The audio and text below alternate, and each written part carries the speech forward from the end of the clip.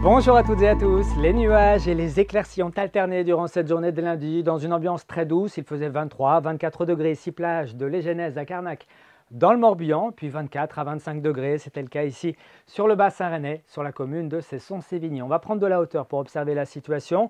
On constate ici une dépression sur l'Atlantique qui fait remonter des bouffées orageuses instables en provenance de la péninsule ibérique et du golfe de Gascogne. Et ce sont ces bouffées orageuses et instables qu'on va retrouver en cette fin d'après-midi, en cette soirée et même une partie de la nuit sur notre région avec des averses et parfois même un coup de tonnerre pour ces prochaines heures. Nous resterons donc sujet encore à davantage d'instabilité à l'est qu'à l'ouest. Ça va se traduire dans notre ciel breton par pas mal de grisailles le matin avec quelques gouttes résiduelles, parfois un petit coup de tonnerre et puis davantage d'éclaircies en allant vers le Finistère et puis l'ouest du Morbihan où une petite ondée n'est pas totalement exclue entre le secteur de Quimper et puis les montagnes noires. Dans l'après-midi, prévoyez un ciel qui sera nuageux et menaçant entre l'île-et-Vilaine et la Loire-Atlantique, avec parfois un petit coup de tonnerre, une averse, quelques ondées également près du littoral de la Manche, et puis beaucoup de soleil en allant vers la façade atlantique. Notez le vent de secteur sud-ouest qui pourra atteindre jusqu'à 40 km par heure. Au petit matin, eh bien, les températures seront très douces, 14 à 15 degrés, c'est ce qu'on aura de minimum sur le centre-Bretagne, mais le mercure grimpera jusqu'à 17 degrés déjà à l'aube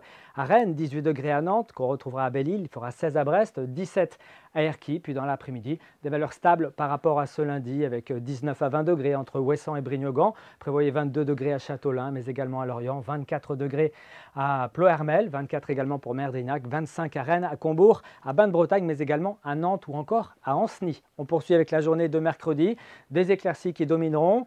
On aura peut-être dans l'après-midi un petit peu plus de cumulus quand même à l'ouest où une ondée n'est pas exclue. Le mercure sera en hausse, 22 à 27 degrés. Puis pour la suite, on regarde la tendance hein, pour euh, cette fin de semaine, les journées de jeudi et de vendredi. Encore beaucoup de soleil dans l'ensemble, quelques grisailles matinales. Une petite ondée n'est pas exclue sur le centre-Bretagne jeudi.